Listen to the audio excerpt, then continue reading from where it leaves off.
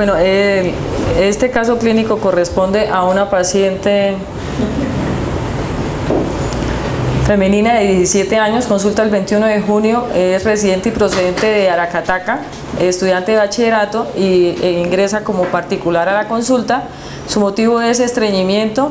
Dentro de su enfermedad actual refiere deposiciones cada 12 días desde hace aproximadamente un año. Deposiciones la refiere que son duras, largas, sin moco o sangre, sin deseo defecatorio y con mucho esfuerzo en el momento de la deposición. La madre refiere que ocasionalmente eh, tiene que realizar maniobras para la extracción de la materia fecal, niega pérdida de peso dentro de la enfermedad actual. Antecedentes de importancia pues no tiene, lo único es que venía siendo tratada por el médico que la estaba viendo con trimebutina, eh, se tuvo una menarca a los 13 años, nunca estaba embarazada y los ciclos son regulares.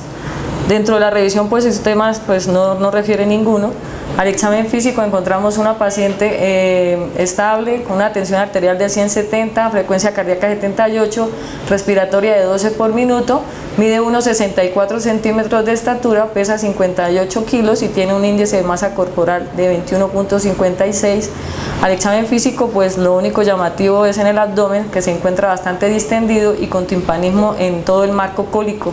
No se palpan masas ni visceromegalias y la parte neurológica pues es totalmente normal. Se hace un análisis de una paciente femenina de 17 años, bachiller, residente y procedente de Aracataca, quien consulta por un cuadro de 12 eh, de, de deposiciones cada 12 días, duras, largas, sin deseo defecatorio y extracción manual ocasionalmente de las heces, sin ningún antecedente de importancia, como único hallazgo al examen físico, distensión y timpanismo en el marco cólico. Se considera entonces eh, que requiere un estudio etiológico del estreñimiento y se inicia un manejo con polietilenglicol a, una, a un gramo por kilo de peso día. Se hacen unas recomendaciones generales y de dieta, recomendaciones tales como ejercicio, aumento de la ingesta de líquidos, que mejore pues, eh, los hábitos alimenticios, aumente la fibra en, el momen- en la dieta. Entonces, dentro del plan se solicita estudio metabólico, pruebas de función de TSH, glicemia, calcio iónico, se solicita una colonoscopia total, se solicita un tránsito colónico con marcadores y se hace, pues, se pide una cita con control, se inicia polietilenglicol y se siguen las mismas recomendaciones. El paciente ya consulta el 2 de septiembre, pues trae resultados, refiere que eh, con el medicamento, con el laxante, ha presentado mejoría, ya tiene deposiciones cada dos días y que la consistencia pues eh, mejoró, ya no, pasa, ya no son duras sino más blandas. Y eh, según ella pues hizo las recomendaciones que se le dieron y sigue utilizando diariamente el laxante. Dentro de los resultados, pues el hemograma es normal, la TSH está dentro de parámetros normales en 2.86 con un calcio iónico en 1.3 dentro de límites normales y una glicemia también totalmente normal. En la colonoscopia pues se realiza y no se encuentra mayores eh, hallazgos, sino unas hemorroides internas grado 1, el esfínter es normal, normotónico, no se palparon masas y la colonoscopia pues se llega hasta el ciego pero se encuentra materia feca- fecal en el colon derecho.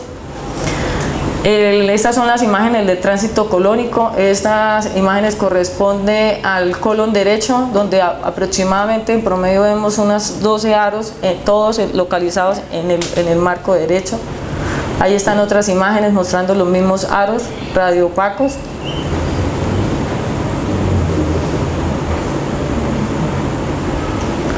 Y en el resultado pues, del, del tránsito colónico se habla de una retención de 12 marcadores, todos en el colon derecho, luego el quinto día de suministrada la cápsula y se hace un diagnóstico, un estreñimiento de tránsito lento.